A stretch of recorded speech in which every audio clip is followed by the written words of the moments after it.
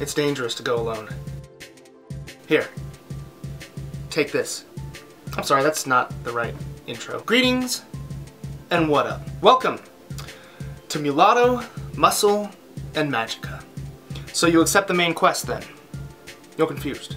Oh, no, that's okay. That's alright. In good hands here. Allow me to introduce myself. I'm Rance, and there are two things that I love. Lifting and gaming.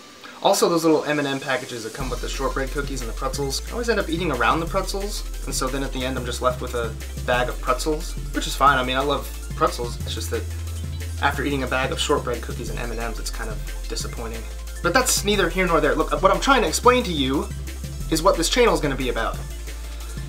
Sheesh. Lifting and gaming. Now, you might not think of these as two things that exactly go hand in hand. In fact, you're probably thinking that sitting on your butt playing video games all day is exactly the opposite of a fit lifestyle and everything that it entails. And you're right, sort of. You're especially right if you are like me and you grew up doing nothing all day except playing video games and eating breakfast cereal and Chinese takeout. I still love breakfast cereal and Chinese takeout. I'll go ahead and post the obligatory before and after photos.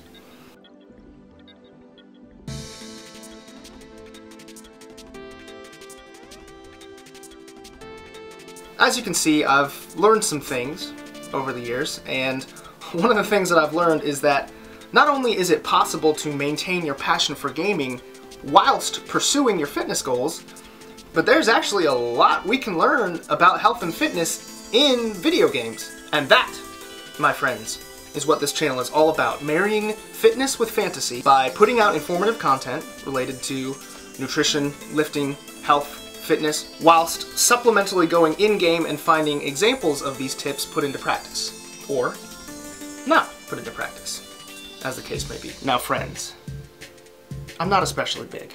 I'm not especially lean, even though I am on a cut in the dead of winter, that feeling.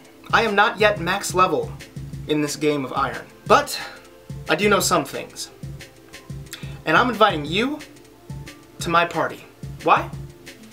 Because I think if we do this together, we'll gain experience faster, we'll level up faster, and hey man, who knows? We might even reach end game. Seriously though, the pursuit of your fitness goals is not meant to be a solo quest. Obtaining your goal physique is relatively simple.